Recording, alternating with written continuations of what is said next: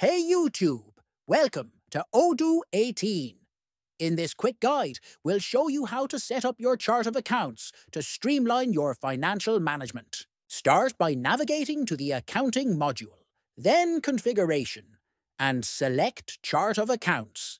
Click Create to add a new account.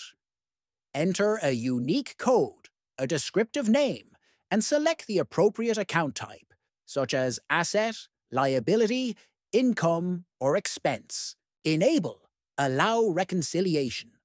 If this account will be used to match transactions, like payments to invoices, you can also assign default taxes and tags to facilitate reporting and compliance. Once saved, your new account will appear in the chart of accounts, ready to be used in your financial transactions. By setting up your chart of accounts in Odoo 18, you lay the foundation for accurate and efficient financial management. Remember, to like and subscribe